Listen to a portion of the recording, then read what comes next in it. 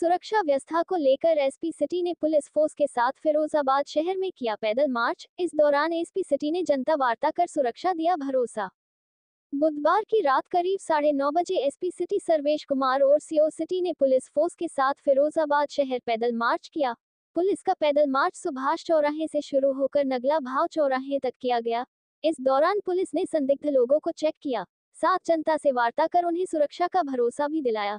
इस दौरान SP city ने असामाजिक तत्व के लोगों को चेतावनी दी है, किसी भी हाल में शहर की फिजा नहीं बिगड़ने देंगे, दोषी को बक्सा नहीं जाएगा। देखिए रोज़मर्रा की तरह आज भी हम लोगों ने जैन मंदिर से टूंडल रोड पर फुट पेट्रोलिंग किया है। फुट पेट्रोलिंग हम लोगों की नियमित रूप से होती है। इसमें आज हम लोगों ने सिटी की फोर्स लेकर के फुट पेट्रोलिंग किया है। फुट पेट्रोलिंग का उद्देश्य यही होता है, यह है कि सायकालीन जो भी आने जाने वाले लोग हैं, उनके अंदर एक विश्वास पैदा हो।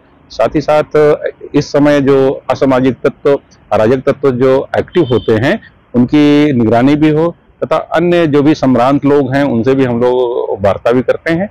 ये हमारी रूटीन की प्रैक्टिस है ये रोज ही हम लोग करते हैं।